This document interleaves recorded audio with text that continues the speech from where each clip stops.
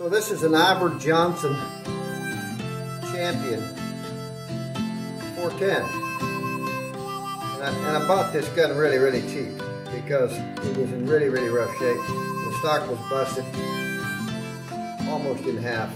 And so I, I, I did several things. I, I, I glued and pinned the stock and I put this, what we call an orange Bisley recoil pad on there just for looks and because I needed a button plate. And I made it into a straight hand stock here, so I, I just thought that would be cool. It was in such rough shape that I wasn't much I could do that was gonna hurt the value of it. As you can see, it's been shot a million times because that that top tang is way past center. I mean, just pretty wore out, but